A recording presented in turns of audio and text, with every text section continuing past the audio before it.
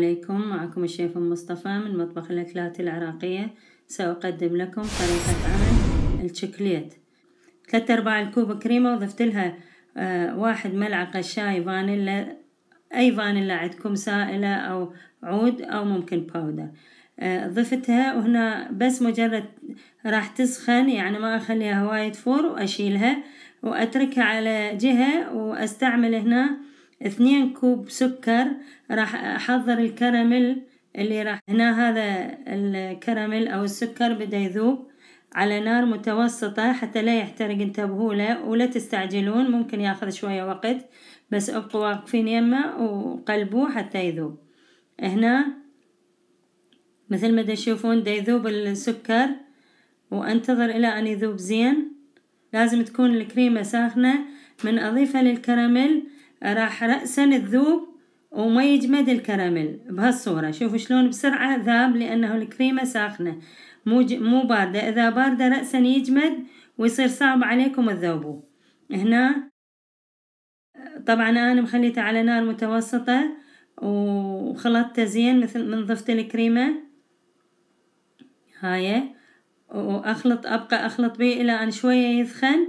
وبعدين أضيف له الزبد. مية وستين غرام. هذا ثلاثة أرباع الكوب زبد. هذا التكملة مالته. هاي. أخلطها. ما تأخذ وقت هاي المرحلة. وقت قصير. من ضفت الكريمة ورجعت خلطتها ما أخذ وقت. رأسا ثخن هو شوية ورأسا ضفت له الزبد. هذا. هسه خلطته زين وراح أصبه بقالب مدهون. وفارشة بورق الزبدة ودهنت أيضا ورق الزبدة هذا مثل ما تشوفون.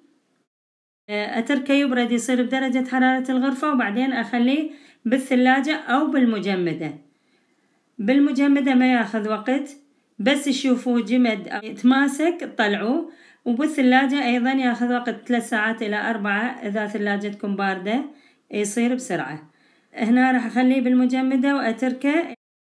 هنا من بعد ما شفته تماسك وصار قوي طلعته وراح أقطعه. وإذا شفتوه قوي حيل اتركوه دقائق يعني مثل عشر دقائق وقطعوه آه، لأنه راح شوية يصير لين وتقدرون تقطعوه.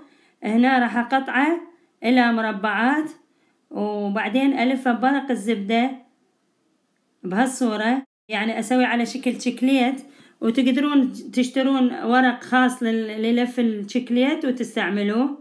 هاي إذا متوفر عندكم. وتقدموه. وبعدين أني راح أحفظه بحافظة وأخلي بين بين كل طبقة وطبقة يعني أسوي طبقات وأخلي بيناتهم نايلون أو ورق الزبدة واحتفظ به بالثلاجة. ممكن نفس هاي الطريقة تضيفوا له شوكولاتة ذائبة وتخلطوه وتجمدوه هم راح يصير شكليت بالشوكولاتة. وهذا شكله النهائي. جربوه إن شاء الله يعجبكم. وألف عافية.